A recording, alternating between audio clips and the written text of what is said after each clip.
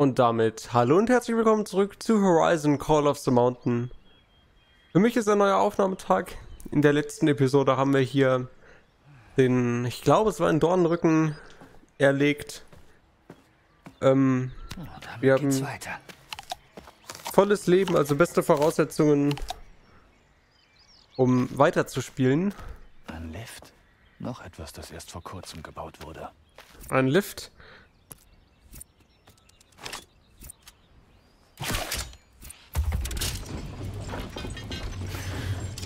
Das Tja. Ding führt mich hoffentlich zu Antworten. Das war unser-. Werkzeug. Wir sind ja auf der Suche nach unserem Bruder. Unserem Bruder Urit heißt er, glaube ich. Der vielleicht schon nach uns ruft. Da ist der Rauch. Und hier ist. Ich weiß nicht was. Das könnte so ein Signalding sein, was, äh, was Maschinen anlockt. Marat wollte Antworten haben. Vielleicht stecken sie hier drin. Urit hat es wohl übersehen oder nicht verstanden. Vielleicht kann Radell es erklären. Ich sollte jetzt nach Dämmerungsgriff zurück. Das hat doch gerade irgendwer gerufen, oder? Warum willst du denn zurück nach Dämmerungsgriff? Oder, ah, wir haben gerufen? Hm. Das kann natürlich auch sein. Okay, ähm... Wenn das... Erinnert mich ein bisschen an die Teile, die es in den normalen Horizon-Spielen gibt, oder zumindest in Teil 2, ob es auch in Teil 1 war, weiß ich jetzt gar nicht mehr. Die man benutzen kann, um Maschinen zu rufen.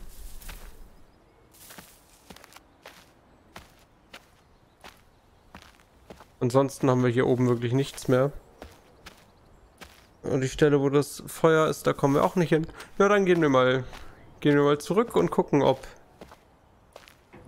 die Leute in unserer Base irgendwas mit dem anfangen können, was wir gefunden haben. Dämmerungsgriff. Nach Dämmerungsgriff zurückkehren. Ja, klingt nach einem Plan.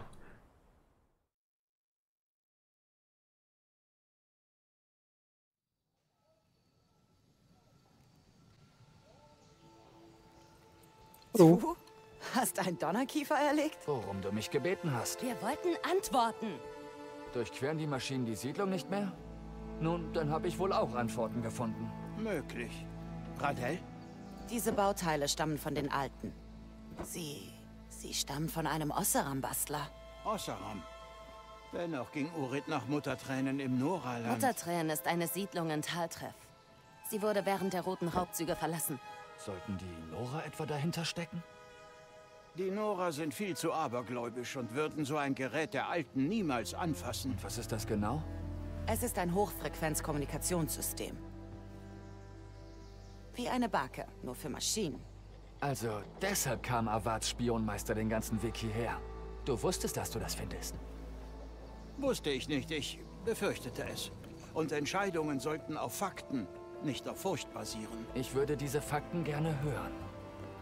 Die kleinen Köder, die ich kenne, können nur eine Handvoll Maschinen in unmittelbarer Nähe anlocken. Aber das, wenn es mehr davon gibt, ist das ganze Sonnenreich in Gefahr. Und das vertraust du alles einfach so einem Schattenkarger an? Als ich den Köder fand, war er mit den Ruinen der Alten verbunden. Mit einer großen Metallschüssel. Hat die den Köder stärker gemacht? Aber warum hat Urit den Köder ignoriert und ist jemandem in das Noraland gefolgt? Warum ist dieses Volk denn so wichtig? Du hast den Muttertränen gedient, oder, Rias? Ich diente, wo es nötig war. Ja, ich diente dort. Dann kennst du das Gebiet. Die Nora spüren noch die Wunden der roten Raubzüge. Taltreff wäre wirklich ein ungemein gefährlicher Ort für einen Schattenkarger. Doch wenn Urit diese Leute als wichtiges Ziel erachtet hat, müssen wir es auch. Ziehe für deinen Bruder, deinen Schwur zum Sonnenreich oder für dich selbst los. Und wenn du das tust, dann als freier Mann. Seine Erleuchtetheit Avad schickt keine Karja-Soldaten in das Noraland, aber ich kann niemanden aufhalten, der seinen Bruder finden möchte. Schreite im Licht, Rias. Aber halte dich bedeckt.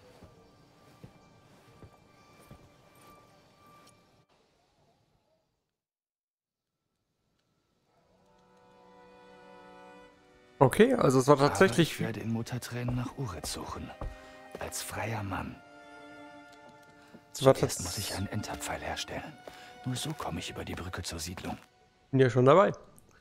Okay, es war. Warum gucke ich auf meine Uhr? Das ergibt gar keinen Sinn. Es war so, wie ich vermutet habe. Die Antenne hat die ähm, Maschinen angelockt. Wir haben unseren ersten Auftrag erfüllt. Wir haben dafür auch unsere, unsere Freiheits. Äh, unsere Freiheit zurückbekommen. Ja, ich weiß, dass ich das Werkzeug benötige. Ich jetzt. Ich rede gerade mit den Zuschauern. Naja. Ähm. Wo war ich jetzt dran? Ah, das war jetzt gemein. Jetzt bin ich raus. Na, wir haben unsere Freiheit wieder äh, und stimmt Ende letzter Folge. Ich hoffe, es war noch auf Video. Da hat der Urit, haben wir eine Nachricht von Urit gesehen. Nicht mein erster Enterpfeil, also nur nicht nervös werden, Rias.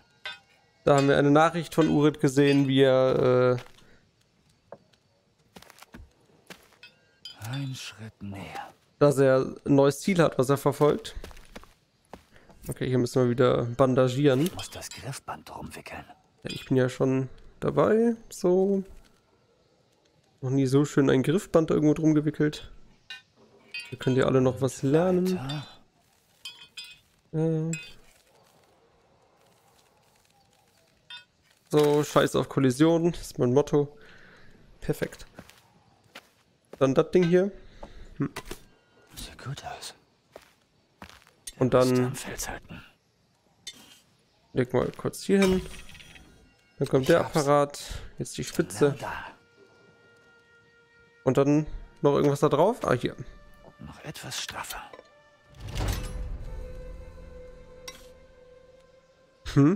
Das sieht spannend aus.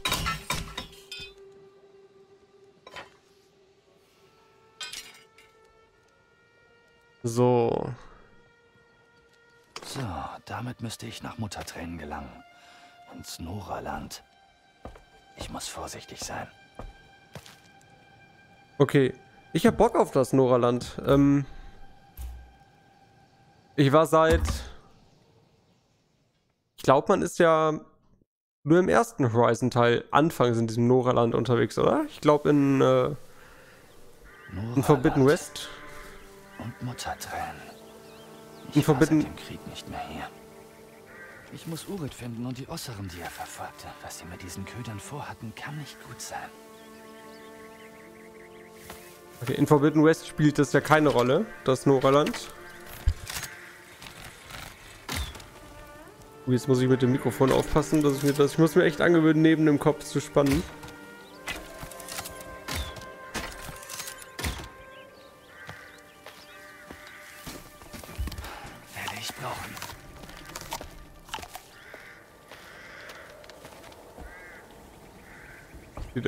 So lecker aus. Die Loge der Stammmutter ist das größte und wehrhafteste Gebäude der Siedlung.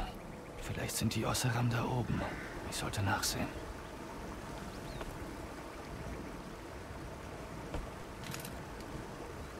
Noraland sieht geil aus. Muss man einfach mal so anmerken.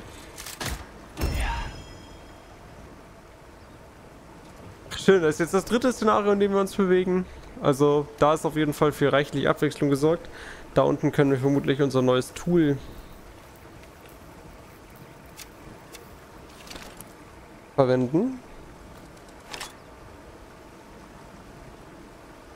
Wie auch immer das funktioniert. So nicht.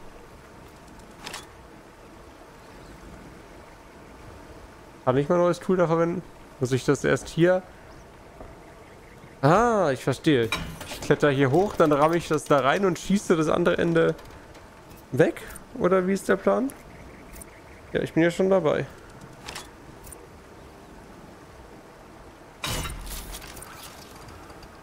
Und jetzt muss ich das werfen?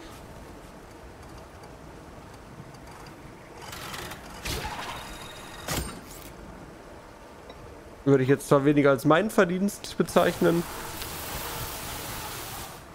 Aber werfen war auf jeden Fall der richtige Ansatz.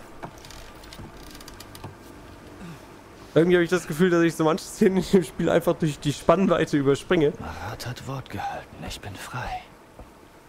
Warum habe ich immer noch das Gefühl, eine Last zu tragen? Tja, weil die Vergangenheit... Au! Weil die Vergangenheit einen nicht mit einem Stück Papier verlässt, maybe.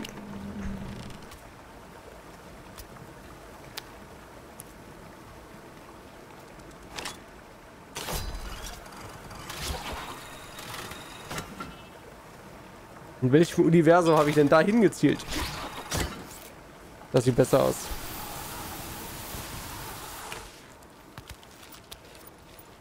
Okay, ich habe eben festgestellt, da war mein Mikrofon noch ein bisschen anders eingestellt. Dass das sich dann mit einer Tracking-Kamera in die Quere kam. Da hatte ich mich gewundert, was bei dem Tracking los Gegner los ist. Wächter. Vorbeischleichen könnte einfacher als kämpfen sein. Das Gras gibt mir Deckung.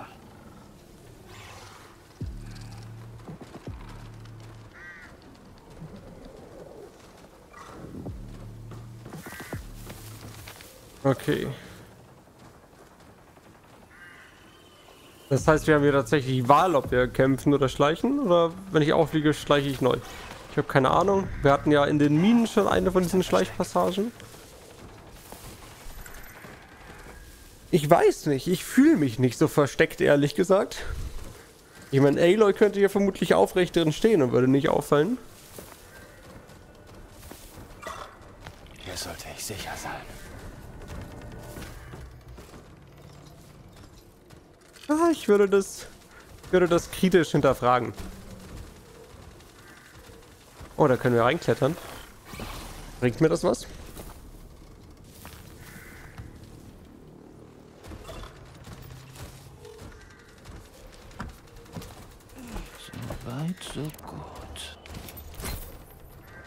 Ist das denn?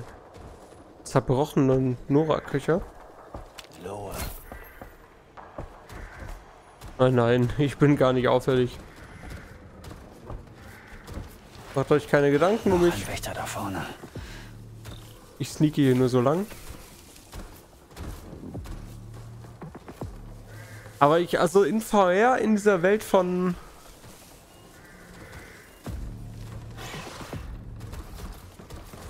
Horizon unterwegs sein ist schon cool. Ich habe auch, ähm, So, erstmal in Deckung. Kann er uns da oben sehen? Ich habe auch Das Haupttor ist da vorne. mal den Kinomodus ausprobiert. Mit dem einen Horizon-Teil. Kann man auch ganz gut zocken. Wobei da natürlich auch Mura ein Thema sein kann. Was ist passiert? Habe ich losgelassen? Bin ich entdeckt worden? Ich weiß es nicht. Das Haupttor ist da vorne. Hier ist ein Versteck.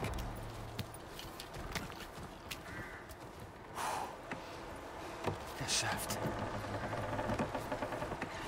Mehr Wächter. Die Osseram sind definitiv nicht in diesem Teil der Siedlung.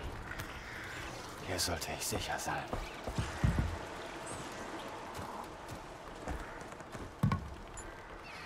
Bin aufgeflogen! Wirklich? Das lässt mich auffliegen? Schockfälle sind immer hilfreich. Das war irgendwie unerwartet. Birnen. Oh. Okay, dahinter sind wohl einige Monster unterwegs. Monster. Maschinen. Hey, was ist denn seine Mission? Hat der ein Problem mit uns?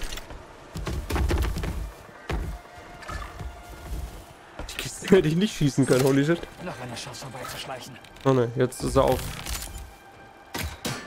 Ich wurde Aha. entdeckt!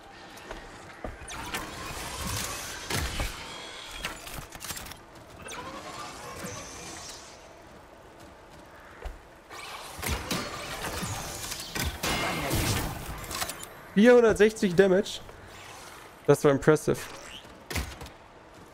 Mein Lieblingsspielstil beim normalen Horizon ist auch Snipern.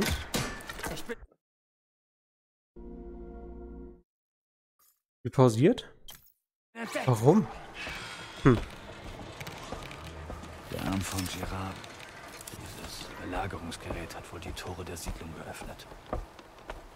Ich wollte gerade sagen, jetzt konntet ihr kurz meine, mein Zimmer sehen, aber ihr natürlich auch in der Kamera sehen.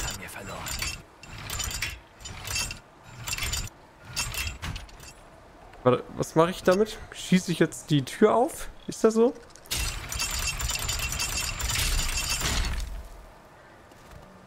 Okay, das war das war irgendwie langweiliger als erwartet.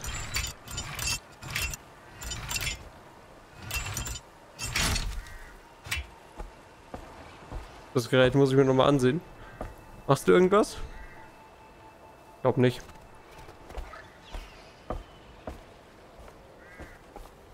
Aber ich weiß auch nicht, ob wir hier unbedingt klettern können.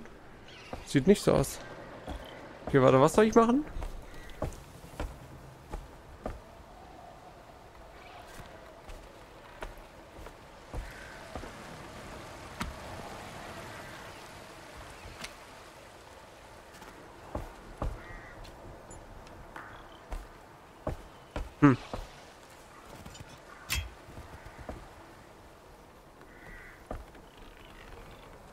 Kann ich irgendwas Spannendes mit dieser Maschine machen?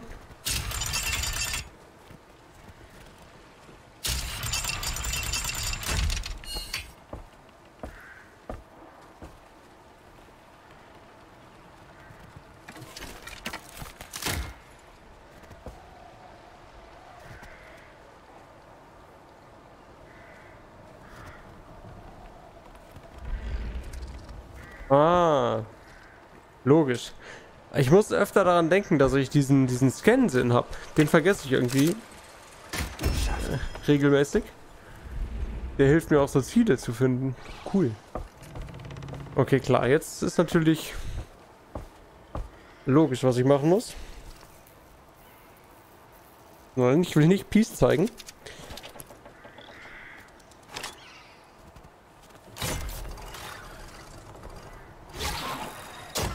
Na gut, dann mal drehen. Ah, und dann ziehe ich die auf. Ah, alles ergibt Sinn.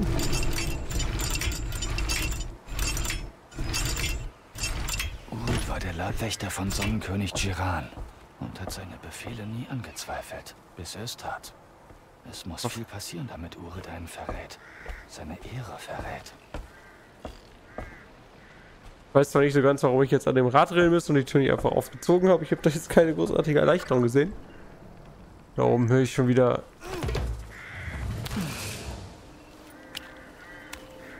Wieder Wächter.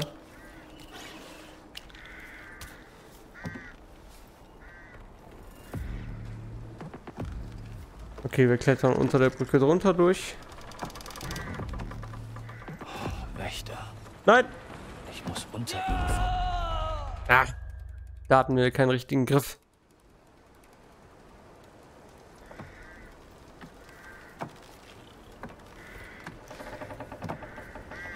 Wächter, ich muss unter ihnen vorbeiklettern. Er schöpft Verdacht.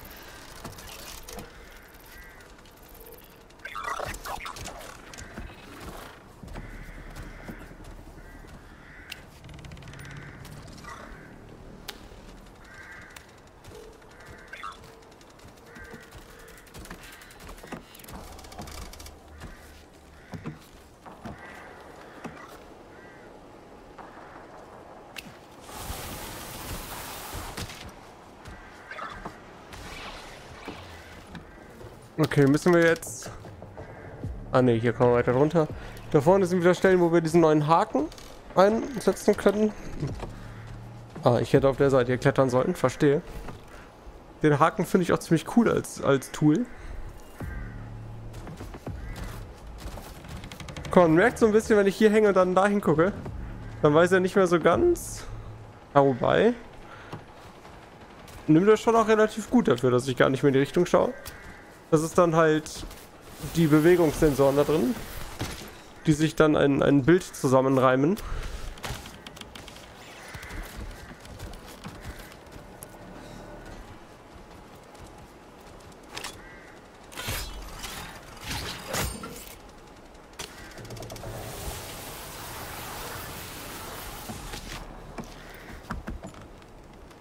Da war es fast schon wieder zu vorbei.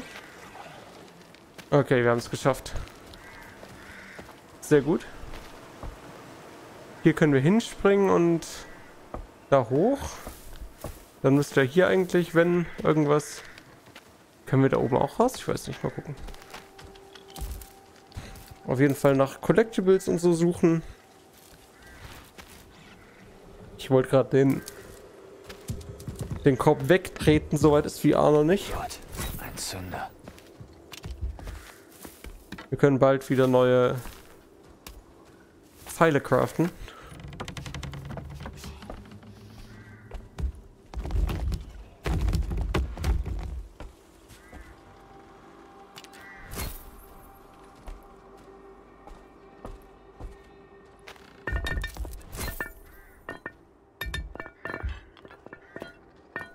So, Physik-Engine-Test.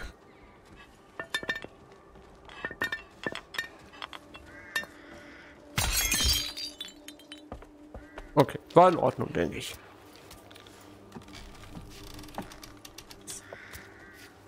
Muss hier mal ein bisschen kontrollierter Griffe setzen. Du? Ah. Ein neues Rüstungsupgrade, sehr cool. Okay, ich denke mal, das war auch der Grund, für den wir hier waren, ne? Sieht so aus. Komme ich... Achso, hier muss ich springen. Oh! Das gab es ja auch noch, stimmt. Doch, das ist schon cool, was für... Also man klettert ja echt viel in dem Game. Aber ich finde, dafür haben sie das Klettersystem echt schön variabel gestaltet. Also es geht mir bislang nicht auf die Eier, hier so viel rumzuklettern mit den ganzen Möglichkeiten, die man hat. Und dadurch, dass halt in VR-Klettern schon einen besonderen Appeal hat einfach. Okay, hier wäre ich auch...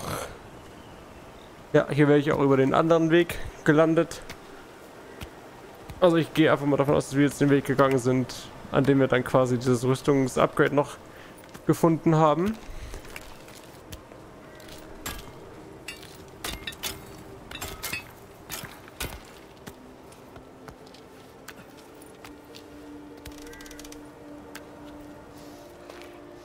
Okay, hier müssen wir uns durchhacken.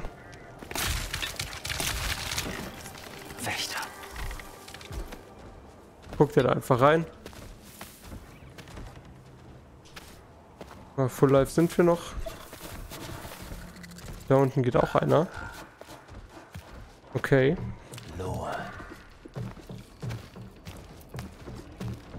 Ich frage mich, was passiert, wenn die hier einen entdecken würden.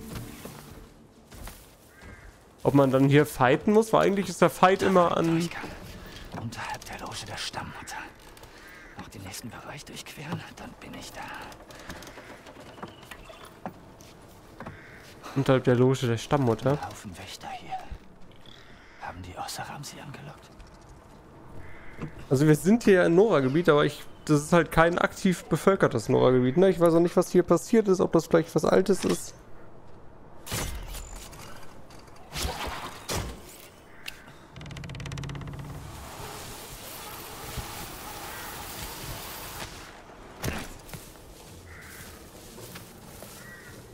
Okay, also das hier sieht so aus, als könnte man hier gegen die kämpfen oder man stickt sich vorbei. Ich überlege schon, ob wir uns für die Action mal für Kampf entscheiden sollten. Ich will halt auch einfach wissen, wie es funktioniert, ehrlich gesagt. Wenn wir jetzt kämpfen würden. Ich wurde entdeckt.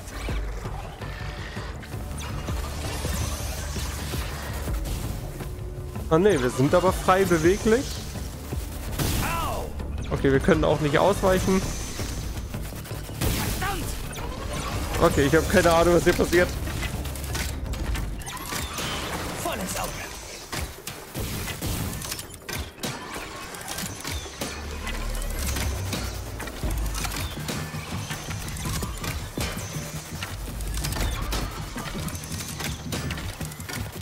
Genau ins Auge.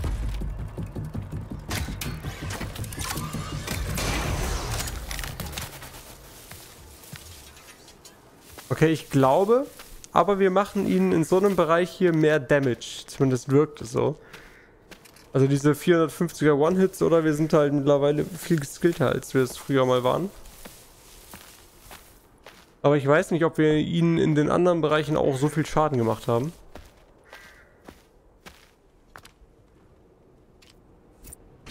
Hm. Irgendein Collectible. Ah ne, ein Item. Irgendwas. Ah, okay. Ich verstehe für was. Und ich weiß gar nicht, ob wir so viele Das ist mein Ausweg. ob wir so viele Möglichkeiten gehabt hätten, hier lang zu sneaken, ehrlich gesagt. Feini.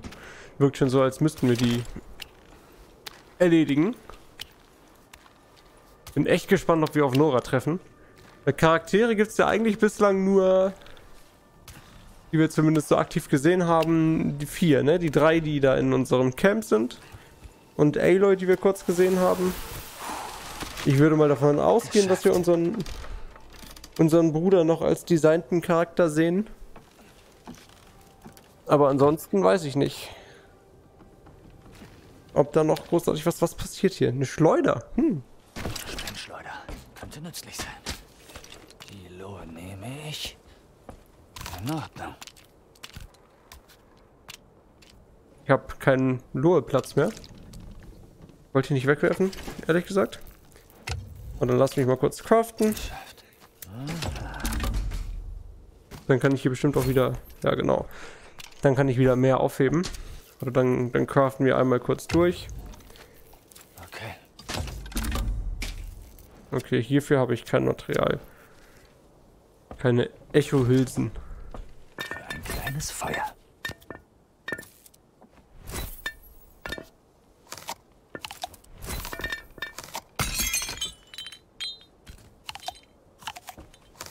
Okay, wir sind Full Life. Wir haben das Maximum an Pfeilen gebastelt. Ich nehme mir trotzdem natürlich noch alles mit. Da war, glaube ich, gerade eine Echo-Hülse, oder? Nee. Okay. Dann sah es nur so aus. Aber eine Sprengschleuder. So, über die Schulter zum Greifen einer Bombe. Dann einlegen, aufspannen. Ah, und wir haben hier so einen so äh, Laserstrahl quasi. Ja, habe ich verstanden. Muss ich die jetzt verschießen? Wirklich?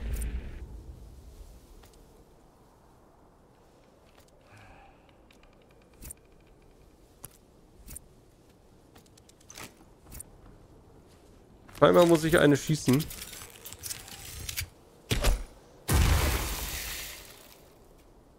Ja, war beeindruckend. Spiel? Danke. Okay. Wächter. Das war's mit Schleichen.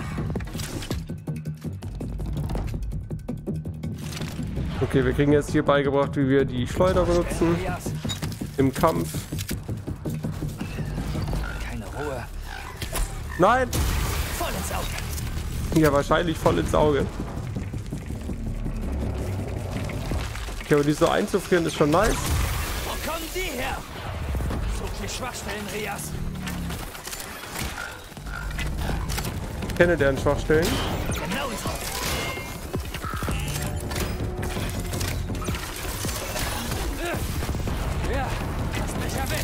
Okay, ich muss auf jeden Fall noch besser an meinem Ausweichen arbeiten. Ja, wir machen definitiv mehr Schaden, wenn wir nicht in dieser in dieser Kampf äh, in diesem Kampfszenario sind.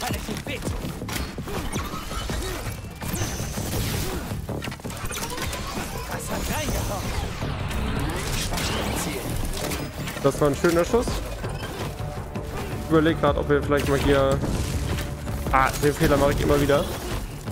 Ob wir sie vielleicht hier mal anzünden wollen.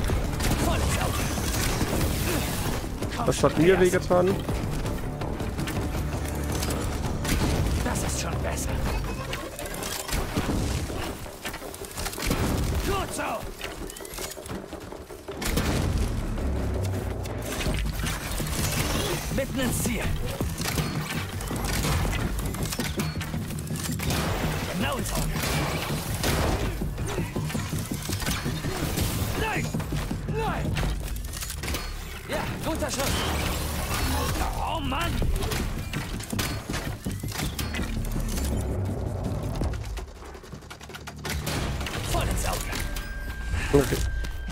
Alle Maschinen der Siedlung, wo ich bin.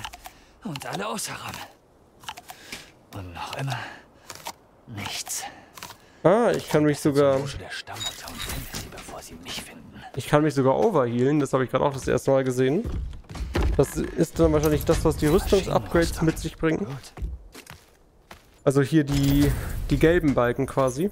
Also die werden erst grün und dann gehen sie leer. Okay, wir haben wahrscheinlich einige Maschinen aufgejagt.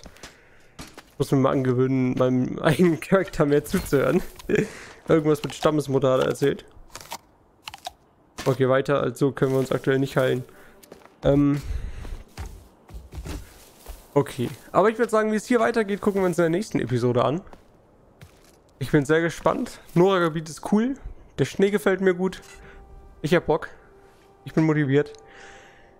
Irgendwo Ziele? Da oben, okay. Ich weiß ja, dass Wächter zusammenarbeiten, aber so viele an einem Ort? Oh ne, das war schon richtig hier Bogen.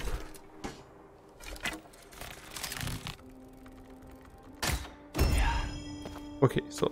Dann würde ich sagen, machen wir hier an der Stelle beim nächsten Mal weiter. Ich hoffe, es hat euch gefallen. Bis zum nächsten Mal. Macht's gut.